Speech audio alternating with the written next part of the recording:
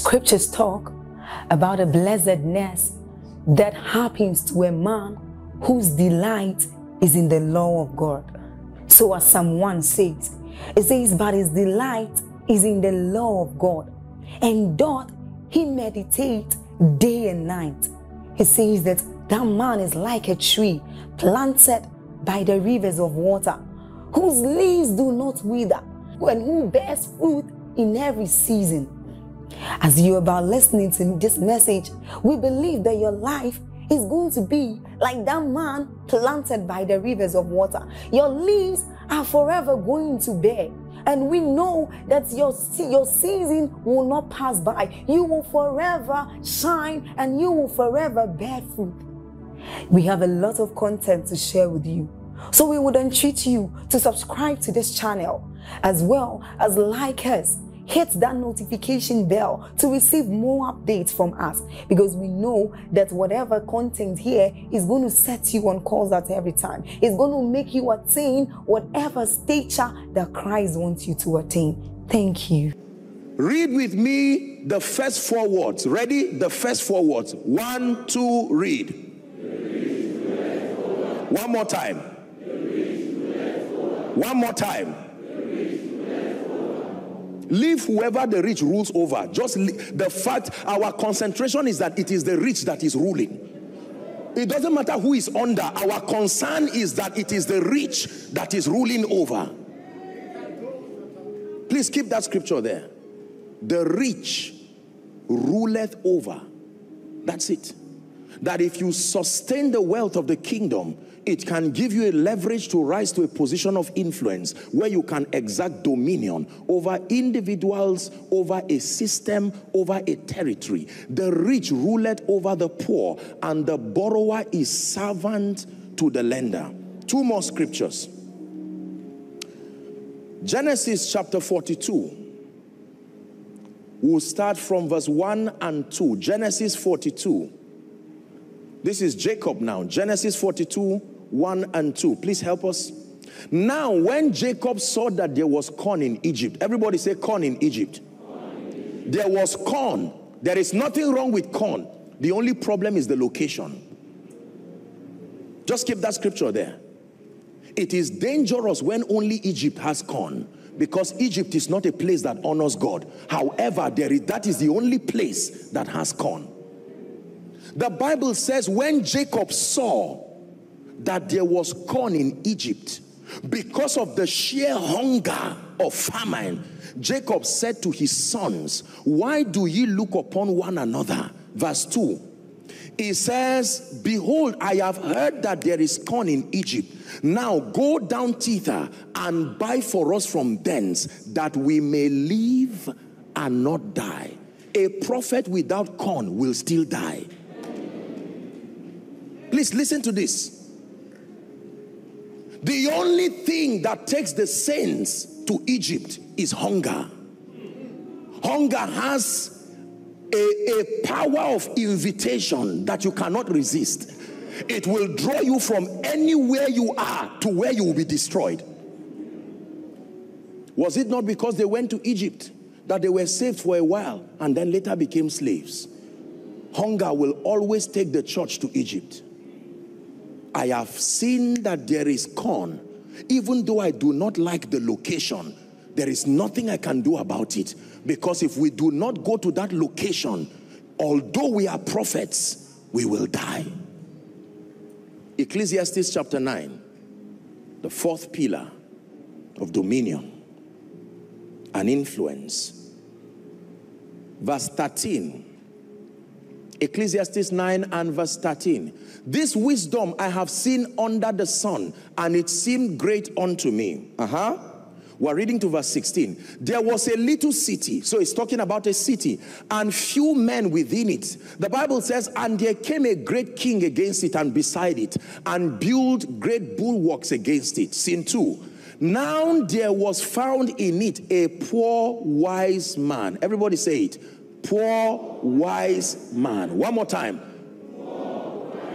The Bible says, and he by his wisdom delivered the city. Yet, no man remembered that same, it doesn't talk of wisdom again. Wisdom has finished his assignment. Yet no man remembered that same poor man. And then here was my conclusion 16. Then said I, Wisdom is better than strength. Nigeria, Lagos, Covenant Nation, WAFBEC, nevertheless, the poor man's wisdom is despised and his words. So, wealth becomes the trade that carries wisdom to serve it well. The poor man's wisdom is despised. Can I tell you this? I know that there are abuses here and there, and people have made all kinds of things out of what we call prosperity, but in the name of Jesus, reject poverty. It's an advice, reject it. Think of your children while you are rejecting it. Think of your loved ones while you are rejecting it.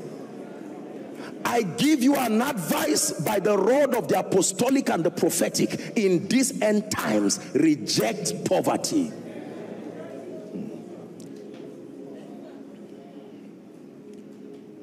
It's an individual choice. I set before you life and death. I set before you blessing and cursing. Do not allow anyone flatter you into believing that with mediocrity and lack, somehow you will still navigate your way to rise to influence. It's a joke, not in today's world. These are the pillars of influence. Let's do a quick recap before we touch on the last one and then we round up. That the first pillar is growth and transformation.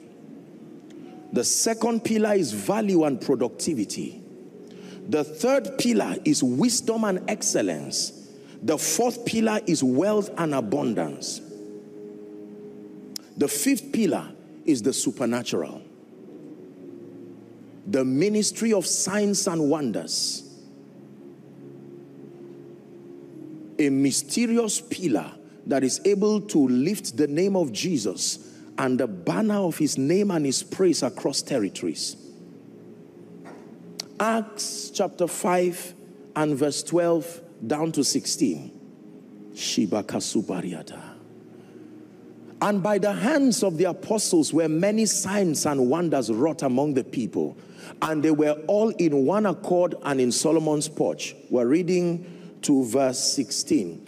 And the rest does not and of the rest does no man join himself to them, but the people did what? Magnified them. The word magnified here is not a wrong word. Is, is the word that was buttressed in Galatians 1 and verse 24. And they glorified God in me.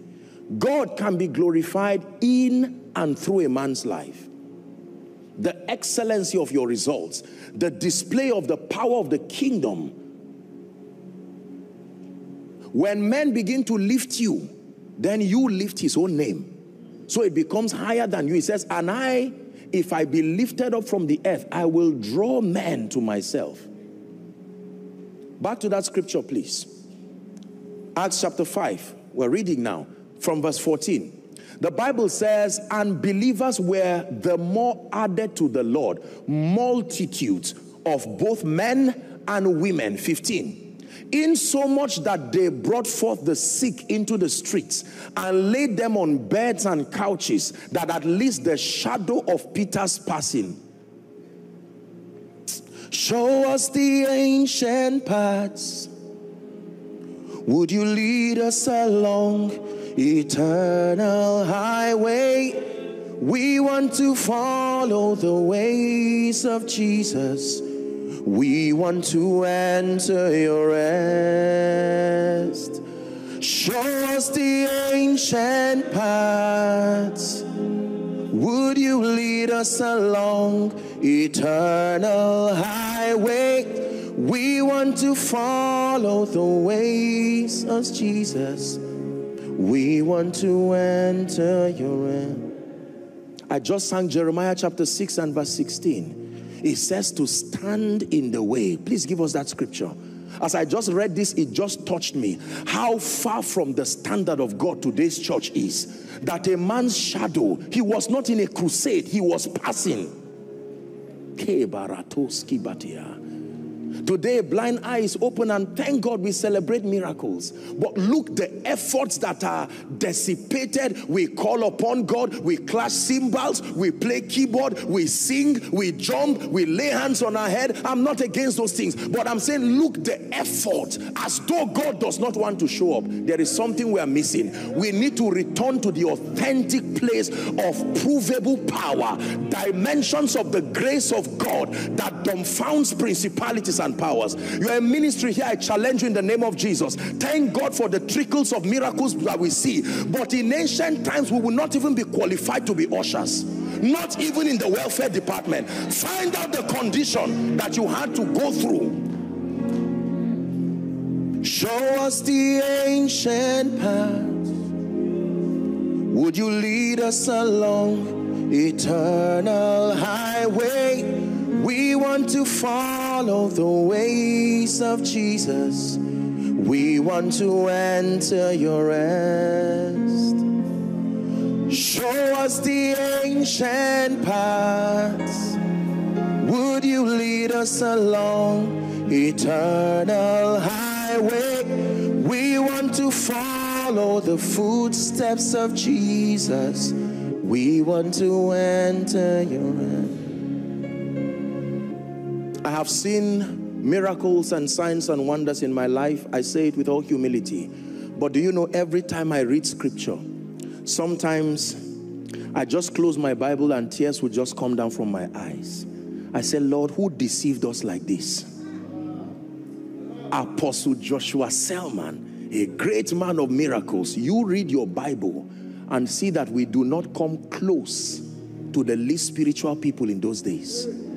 Now, this is not condemnation. This is how you are challenged. Men can clap you into dimensions where you plateau in the spirit and stop rising and stop growing. There must be a perpetual hunger, and that hunger comes when you compare yourself with the reference of scripture, not among yourselves, for they comparing themselves with themselves are not wise. The Bible says the shadow of Peter Shalika barakusiata. Mandi brandos that you come and buy a soft drink just because your hand touched someone's shop. As soon as you leave, you brought heaven. Makos kebaratoshia. Shebre salibarakusiata. You come to visit someone, you just sat down on their chair and say, Peace be unto this house. Suddenly, storms, 10 year old storms, they hear your voice like a tornado in the realm of the spirit. Shalom, be still. Church of the Lord Jesus, wake up. Although we have seen the hand of God, let's pat our backs only briefly. There is a lot to do if we need to rise to a position where the church will not be silent, it will not come by singing. There is a dimension of the supernatural we need to reintroduce. The foundation of the church in Nigeria, please take it higher for me. My spirit is fired up now. Gee. The church in Nigeria, have you read about our fathers? The men and the women who handed this gospel to us they were men who were not really educated, but they were men who had fire. These were men who met God and they knew they met Him. I was watching a video one day and I began to cry. One of the old Yoruba prophets, I don't know how the Holy Ghost led me to that video, and he was talking and the sheer glory and presence that emanated i didn't know what he was saying and honestly i didn't care you, you didn't need to be a Yoruba person to be blessed. The power that came from that man. I said, God, what has happened to us? Where did we miss it? This is my final session with you. This has been my obsession to tell the church, thank you for what you are doing, but let us wake up. If we think we are going to win the world at this pace, think again. There is a dimension of the power of God this is not for preachers. This is not about ministry. The effulgence of the life and the power and the glory of God.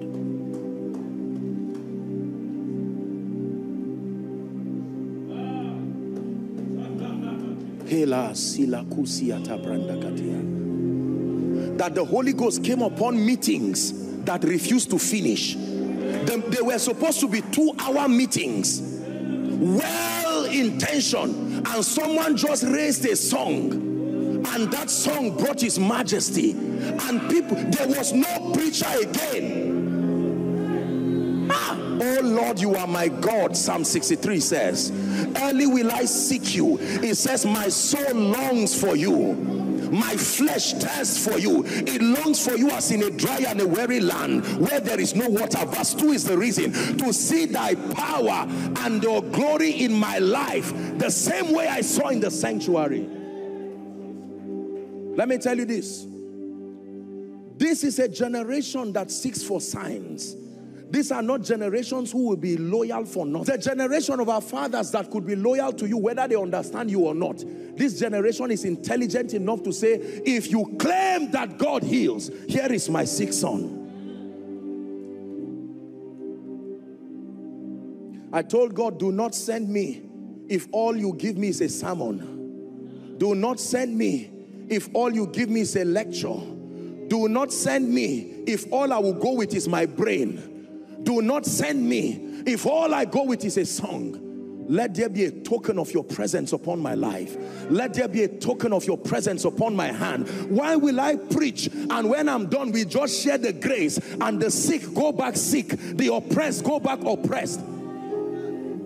Listen, if we do not rise to this level of the supernatural in the body of Christ, a time will come, people will shout amen, but we know they don't believe what we are saying.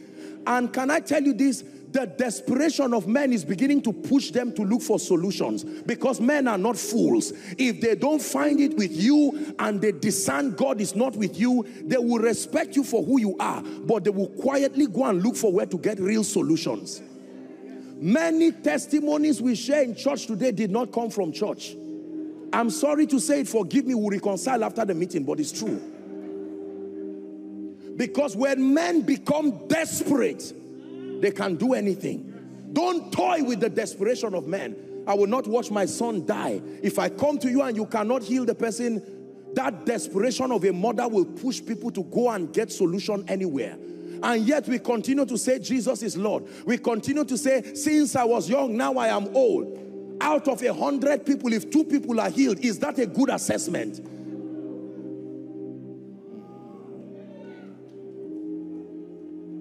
If there are 30 blind people and only two see, yes, we give God glory, but that's not all God can do. Hmm.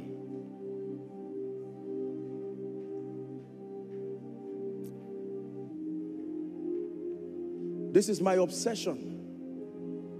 This is why we refuse to get satisfied.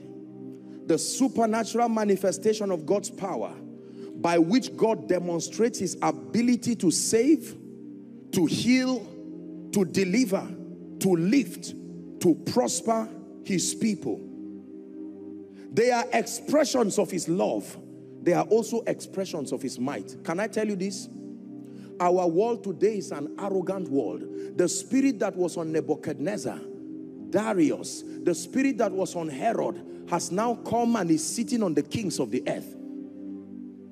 You see the way they cheapen the church now and they say it with all sense of pride. It's almost as if you are deserving of an award to the degree to which you downplay the church. It's not their fault. There is a dimension of the display of the power and the glory of God that can silence the mouth of all and sundry.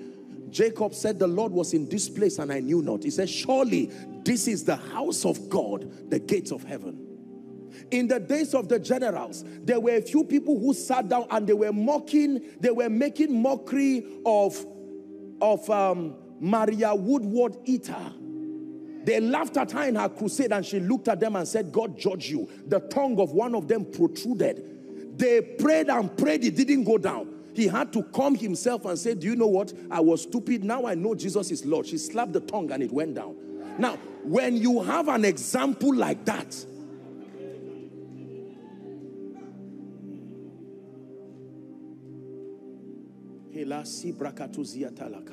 that a popular madman on the street of Lagos a popular demoniac, suddenly he comes under the influence of this kingdom that we so boast about. And his life comes under perfect order.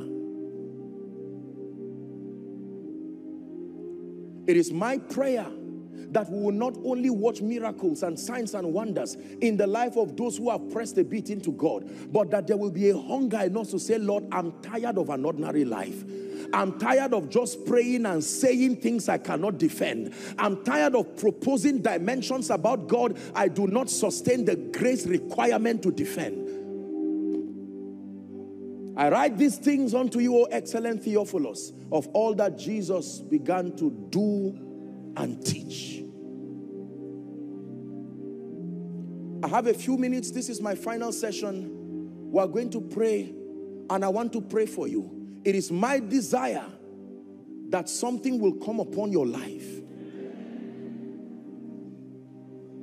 Who is like him? The lion and the lamb seated on the throne.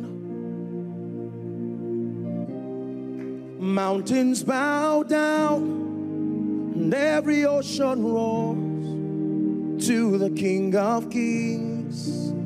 That's the God that we serve. Who is like him? The lion and the lamb seated on the throne. Mountains bow down and every ocean roars to the Lord of Lords. We will praise Adonai from the rising of the sun to the end of every day. Praise Adonai. All the nations of the earth, all the angels and the saints sing praise. Listen, let there be a desperation in your heart as we pray for the next two minutes. Cry unto God.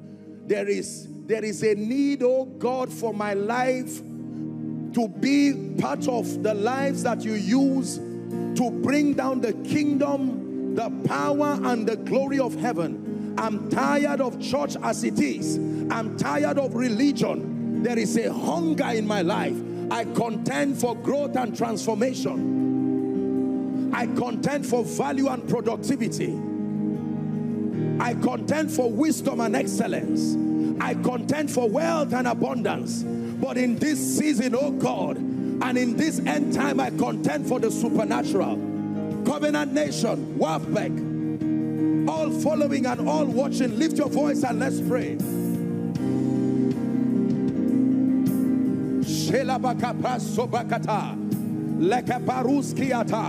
Blow the trumpet in Zion. Sound the alarm upon my holy mountain. Someone is crying to the God of heaven.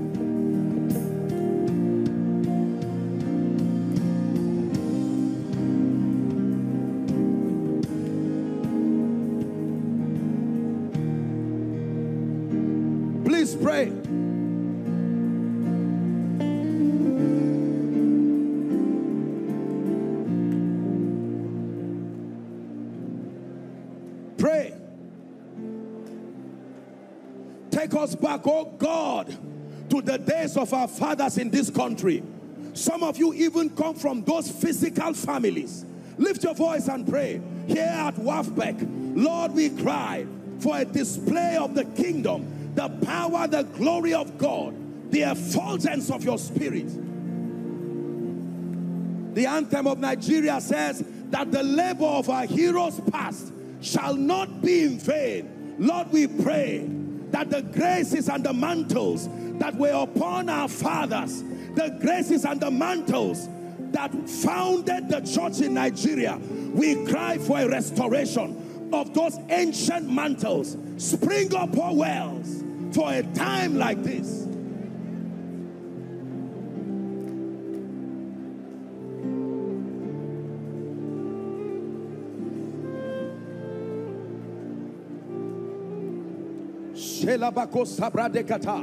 Someone is praying. Pastors pray. It's time for fire on our altars again. Businessmen pray a dimension of the wisdom and the excellence of the Spirit.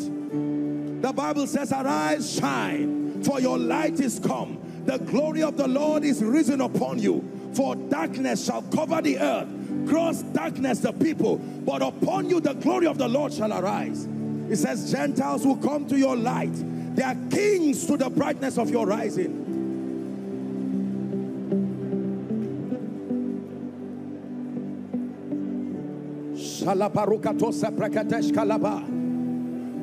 We are praying, people, lift your voice and pray. Something from heaven is about to come upon your life. I assure you by the Spirit of the living God.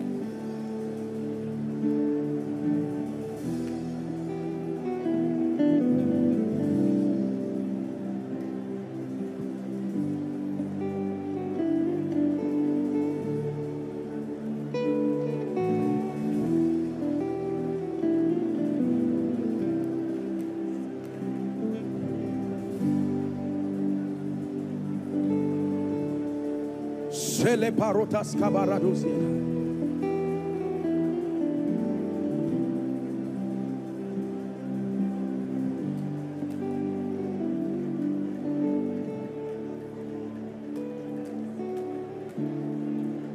We are still praying. Forget about who is at your left and right. It's time to receive. WAFBEC, a platform for receiving something that can change your life.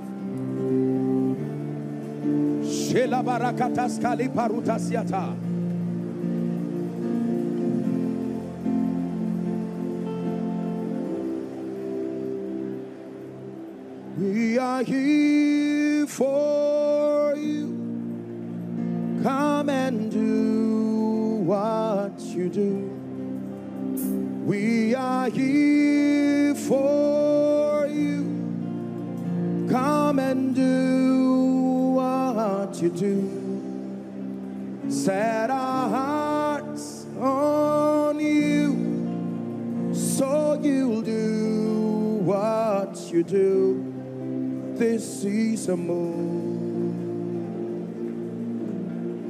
We need a move. This is a move.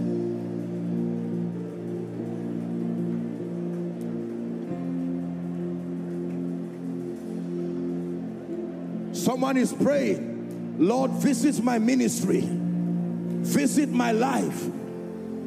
What you showed me in my dreams and my visions here at WAFBEC, let it come alive, oh God. Fan the flames of my destiny, fan the flames of my ministry. Hey, Palas Kabarata, you who are watching in your homes, watching in your offices, watching online, participate in the prayer. Open up your spirit from the US to the UK, from Asia to Africa. Lift your voice and begin to pray.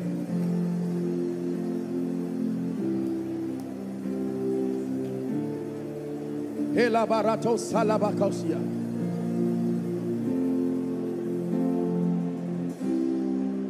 Let something come upon my life, oh God, that will set me on fire, manifesting the supernatural, signs, wonders, tokens of His presence in my territory, in my community. Hiya, hiya, ah,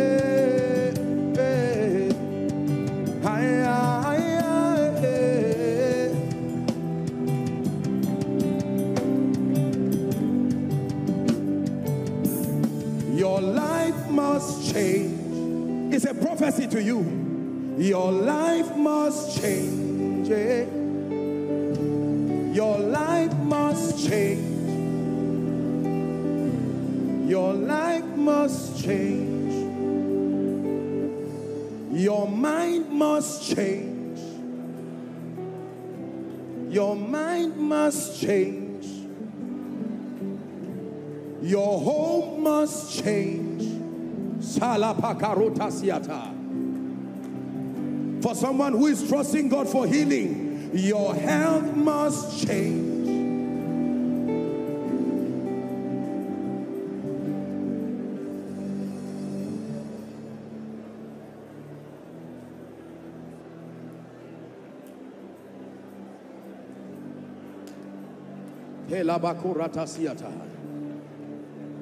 Lord, I came to receive. I came to rise to a new dimension in the spirit. WAFBEC, an encounter with the word, an encounter with the spirit, receiving the supplies for the days ahead. Hallelujah. Now, please listen. Listen. I'm only here for a few minutes. Some of you are crying. Do not be ashamed of your tears. I came here with the spirit of revival. I came here with the spirit of grace. Please listen to me. Many years ago, I became sick and tired of religion. I became sick and tired of watching the sick and the oppressed go. Even though I came from a background that was evangelical, I knew there had to be more. My hunger drove me to begin to search the scripture and the life of men and women who were mightily used by God in every generation. I always share this story to edify the body of Christ. I speak on this platform to the church universal. There is something that the hunger of a man can do. When you become hungry and desperate for the truth, even in ignorance, the mercy of God honors it.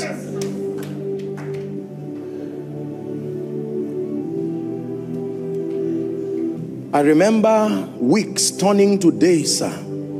Days turning to weeks. I said, God, you cannot send me to a generation with nothing. What will be my message? And that night, the Lord Jesus Christ came to me. When he walked into my room, I'm standing there and watching his majesty, the one preachers talk about. I said, my God, could I have been able to represent this man if I did not see him? I was, I was embarrassed by my ignorance of him, even though I was preaching. He never said a word, yet he said many things. It was then I knew in the realm of the spirit, you've heard me say it, that you do. It entered my spirit. He stretched his hand towards me and a beam of light entered my spirit. How I did not die is a mystery that I will ask him to explain when we get to heaven. And then in another vision, he mandated me. He said, every nation and every territory you go to, there must be someone in that meeting. The light that came from me to you, that light, there has to be someone that that light will land upon. Please help those under the anointing. When this happened at another separate encounter, the Lord spoke to me and said, my son, I give you my presence from this day as a gift. All of a sudden, I see this huge angel standing. And I said, who is this? And he said, this angel will walk with you. I said, what is his name? And he said, he's called the angel of the Lord's presence. And I said, is this not supposed to be God himself? I was confused. And this is the reason why many times you see some of these manifestations. I explain this thing to you so you don't mix what we are doing with, respectfully speaking, some of the excesses you steer around. Because it is important that we give a precedence to the demonstration of the Spirit upon our lives, lest it be confused. I have stayed faithful to that mandate.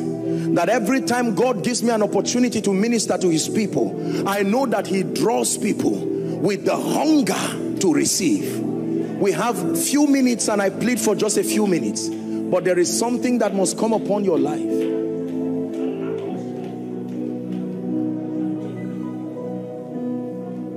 Oh come, oh come, Emmanuel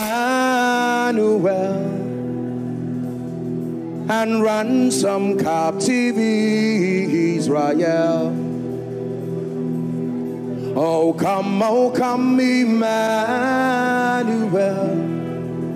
and ransom captive Israel. Rejoice, rejoice, Emmanuel has come to you his Israel. He has come to you, his Israel. Pastor, you know, one night I was I was watching William Branham. And while I was watching him, I could see the presence and the glory of God upon that man. And I said, why were people criticizing this man? Because at the later part of his life and his ministry, please help me with the drums, help me with the cymbal. And I was watching him with, with passion. I said, why would such a man be criticized by people who carried so much dimension of God? And I said, Lord, help us to honor the people that you have used. And while I prayed that something happened, suddenly there was like a cold sensation from my head, from my laptop. It started going down gradually, gradually over the course of 30 minutes. I didn't know what had happened. By the next meeting, as soon as I went there, suddenly I began to see the names of people. And I started seeing a lot of supernatural things. Until then, here and there, I would walk in the word of knowledge and here and so on and so forth. I learned that honor is the key for reception Whatever you despise, you will never have it, even if you are around the proximity of it. It's one of the reasons why we hardly receive in the body of Christ. There is no discernment.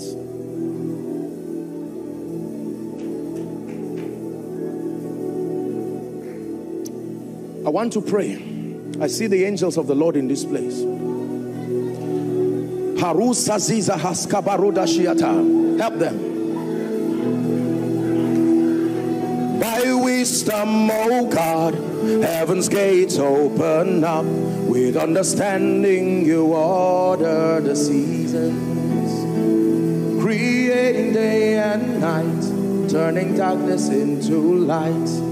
Arranging the stars to your pleasing. In the name of Jesus, I stretch my hands. Let the fire of the Holy Ghost from my left to my right in the name of Jesus, the ignition that must come upon lives and destinies. Name. There are many of you, the dreams and the visions that you have had. You have seen yourself walking in supernatural dimensions. That grace is about to step into your life. One, that grace, help them please. Please help them. Take that grace. In the name of Jesus. Fresh fire upon your destiny I shift you to levels in the spirit, dimensions of power, dimensions of grace. Drink of ancient fountains in the name of Jesus the Christ. Hallelujah. Now, please listen. Revelation is a spirit. There is the spirit of revelation. Paul called it the grace that makes all men see. Ephesians chapter 3 and verse 9. There is a grace that can make all men see.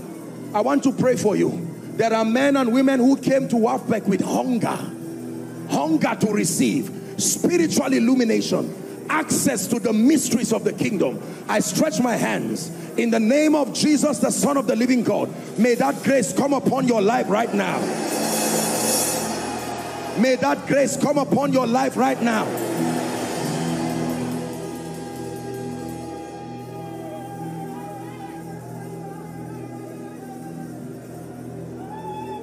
Help her, please.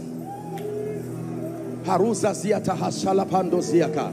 Kradaka shalaka sobrende getash. Eke paruda sazia shaha salabadu zazia. Maka prada gadosha laka pranda salakatoziata. Hallelujah. Please listen to me. The Lord is leading in my spirit, even if it's in 30 seconds, to just say something. This is a vision that I've never shared, but my spirit will not allow me. In that vision, I was in a pastor's conference. There were many men of God around this nation and across Africa. I say this to the glory of the Lord, and I'm saying it just because of something God wants to do. And while I was there, there were fathers. I didn't know some of them. It looked like some of them had died, but they were still represented. And then among them, I began to see the fathers of faith in this nation. They were seated, but they were in front. Then there were other vacant seats in front of them, but people had not yet occupied them. I said, What is this that I'm seeing? All of a sudden, I saw our great father in the faith, Daddy Adeboye and he was sitting in one of the seats. And he looked through the crowd and pointed me slowly. He said, Come. They were serving a meal, and he got up from the seat and sat on the ground with the meal. And I could see anger and bitterness. I was even afraid. While I was walking and I was coming out, I said, What is this? This our father wants to embarrass me. And he said, climb the stage. When I climbed it, he said, sit down, let's eat. I said, I would never do that. I came from a background where I was well trained. I will never do that. I honor you, sir. You are my father, you are my grandfather. I will not do that. He said, do you respect me? I said, yes. He said, eat.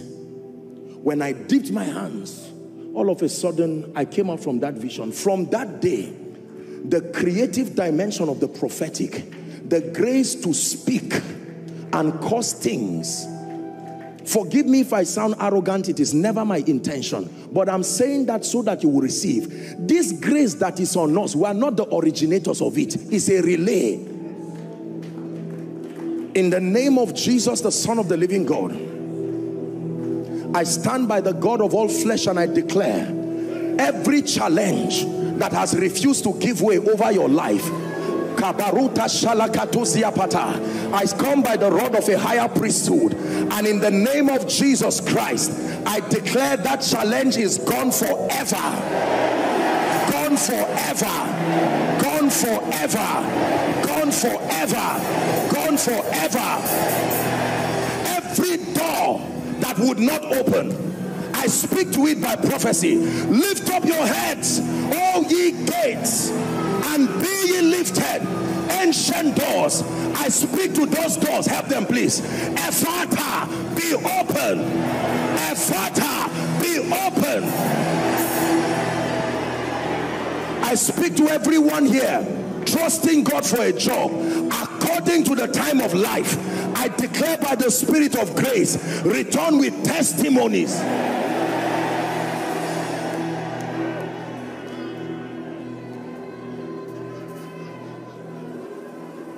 There are people in need of restoration. The Bible says they are taken for a prey and none sayeth restore. I join my faith with the faith of your pastor, the angel of the Lord over this house, and I decree and declare whatever has left you that should not leave you, I call it by name. Help them, please, my God, and I command it to return back to you.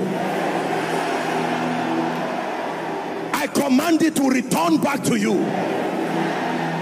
lost opportunities, lost relationships, resources. Hear the word of the Lord. Return in the name of Jesus.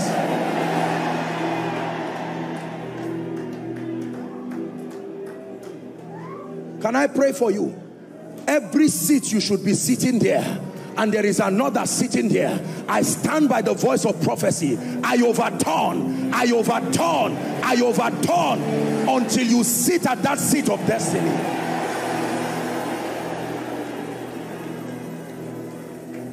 I don't kill, but any man who vowed that over his dead body that you will rise, that prayer becomes answered.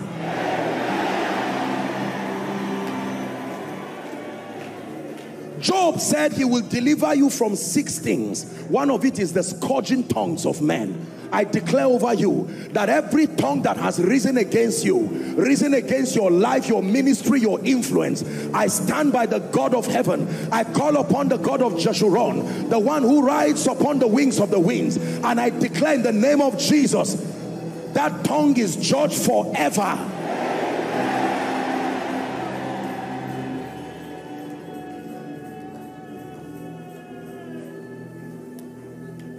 Dearly beloved, I hope you were blessed by this message.